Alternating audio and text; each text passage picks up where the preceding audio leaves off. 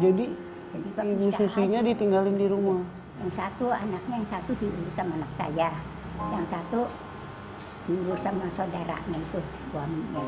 Hmm. Terus saya, yang satu anak saya lagi ya, buka cita lah.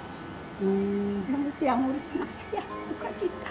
Mana ada 10 hari ini, anak anaknya banyak. Kalau suami ibu maaf meninggal kenapa? Kanker. Hmm. Udah lama, Lama juga sih, eh, lima tahun. udah lima Eh, hampir tahun. enam tahun. enam tahun. Terus pas masuk ke yayasan sini jadi ada kegiatan ya seru, seneng-seneng Ngaji, ngaji, ketemu teman-teman lain, nenek lain. Alhamdulillah sih sama teman-teman jadi gembira pikiran saya. Alhamdulillah. Hmm, Ya ada anak-anak saya ya biarin duka cita juga anaknya.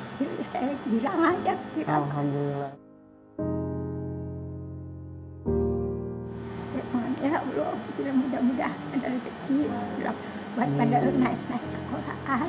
Ya bisa deh, ntar dia dagang, ntar lu dagang gorengan. Ada hal yang menarik ketika Iki ngobrol dengan salah satu lansia yang ada di sana. Iki jadi penasaran dan tertarik dengan perjuangan beliau untuk menghidupi anak dan cucunya. Iki pamit, hati-hati nenek pulang ke rumahnya. Tapi Iki boleh foto sama ibu, ibu di sini. Biar Iki handphone siap.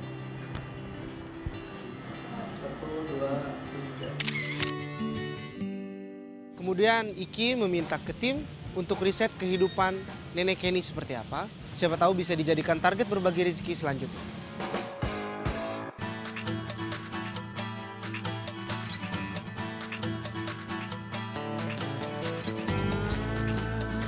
Setelah mendapat informasi dari Iki, saya kemudian mencari lokasi tempat tinggal nenek Kenny untuk riset. Seperti apakah sosok nenek Kenny tersebut?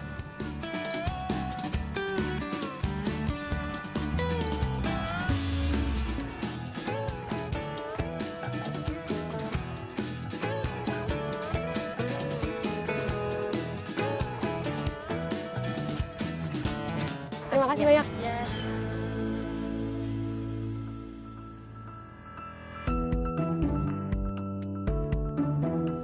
Assalamualaikum. Waalaikumsalam. Maaf Bu, mau tumpang tanya. Iya. Ibu tahu rumahnya Bu Dewi nggak ya? Heeh. Nggak tahu ya Bu?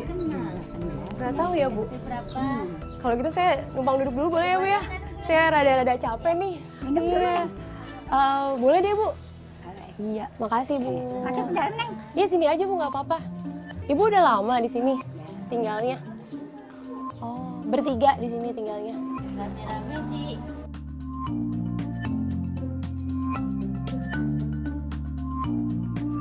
Aku beli ini aja deh, Nek. Ini minum aja, Neng. Hah? Bentar, Nek, saya bayar aja, Nek. Ya, Bentar ya. udah minum aja dong. Nek, saya nggak mau dompet, Nek. Ya udah biarin, Neng. Nggak apa-apa. Waduh, berapa nih, Nek? Udah, udah minum. Bang air. Serius aja. nggak apa-apa, Nek? Udah. Ya udah deh kalau gitu, saya sekalian mau nyari-nyari lagi deh nanti ya, Bu. Iya, heeh, nyari rumah Ibu Dewi dulu. Terima kasih banyak ya, Bu. Nanti saya ganti ya, Nek. Saya ke sini lagi ya, Nek. Makasih ya, Nek. Makasih, Bu.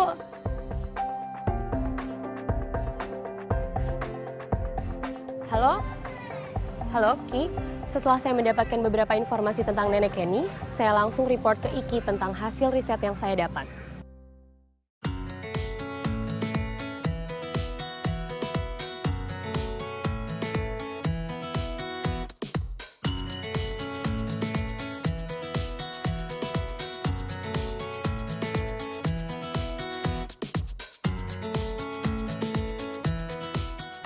Oh ini.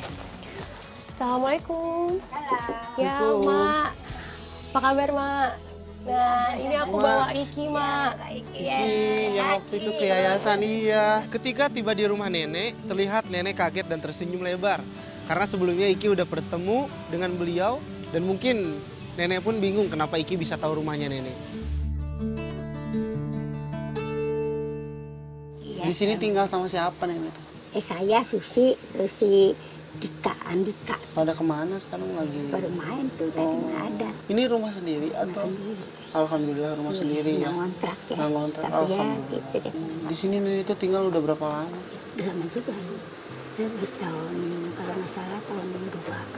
62. Di sini udah tinggal di sini. Terus berarti nenek ngurus cucu juga berarti ya? ngurus satu Terus emang orang tuanya ke mana? ada Em, bapaknya nikah lagi Kan suami ibu udah nggak ada, udah meninggal. Terus yang membiayai selama hidup sekarang ngurusin anak, cucu siapa? alhamdulillah saya sendiri nyari dagang dagang aja Ih, hebat. dagang dari dulu ya dagang sambil gendong Berat nggak nek harus? ya kak udah bagian saya alhamdulillah ya bapaknya ya kerjanya dulu lagi sehat juga rabutan ada kerja apa aja mau kalau lagi kagak ada ya kagak ada kosong Tapi anak-anak nenek ada yang kerja atau? nggak ada ya paling suruh ada yang ada dulu yang gede kerja di itu di saudaranya jadi pembantu Hmm. Hmm. buat makan Tapi makan ada dulu. buat nabung ada. ada sedikit-sedikit di yayasan takut kebutuhan saya Iya. takut nggak ada umur-umurnya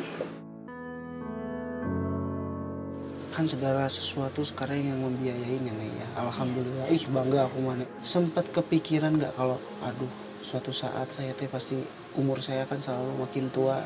nggak kepikiran sih sebenarnya Gimana? mengenai anak di emak kan udah tua umur sih ya nggak tua nggak muda tapi kan mah udah tua nggak umur kan namanya orang udah tua. Yang kemarin aja masih muda aja panggil panggil panggil ya ini. Maka mah masih bisa usaha. Saya nggak minta dulu sama anak. Tapi Saya nenek pernah nggak sampai nggak bisa makan? pernah. Gimana itu ceritanya? nasi kering